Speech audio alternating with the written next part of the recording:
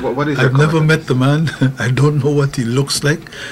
Uh, on the last occasion, he had a run-in with the police when they raided his his farm, and he had made uh, some very um, derogatory remarks. I'm sure I responded to say that um, no man, nobody's above the law, and you can't come here and believe that because you're a, a billionaire you are uh, entitled to any special treatment. That's the extent of it. As I said, I, if you showed me a picture of him, it would be the first time that I am uh, getting any view of, of his likeness. So it's it's it, it's simply it, I think something that's untenable for him to suggest that there is any any any personality element in this at all.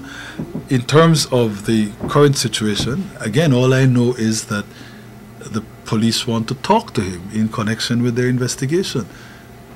What on earth can be wrong with that? Police have an obligation to investigate what is a murder. If they feel that he may be able to help, uh, the proper thing for him to do is to talk to the police. This is paranoia, uh, uh, and, and, and again, his sense that he should be treated differently um, cannot be countenanced.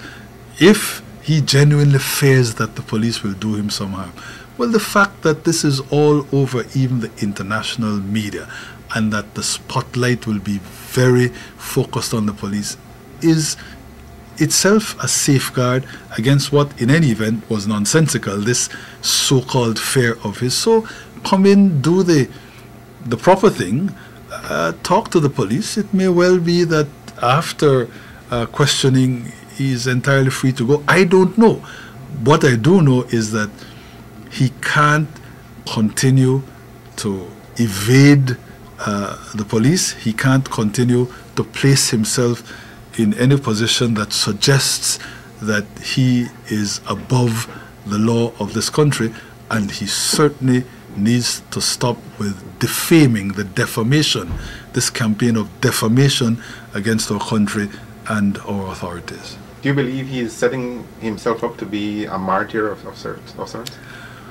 Well, I don't, I, I don't know. Uh, it's hard to figure out uh, the man's mind. Uh, I can only judge from uh, such public comments as I have seen, and um, uh, it, it, strikes me that at the very least um, he is guilty of some wild exaggerations, to put things mildly, and uh, must be, I would imagine, an extremely paranoid person. I say nothing about the investigation in connection with which the police want to talk to him.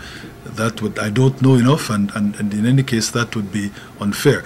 Uh, make clear that, as I understand it, that is all the police merely want to talk to him. It is not that he's a suspect. Uh, uh, it is not that charges are pending.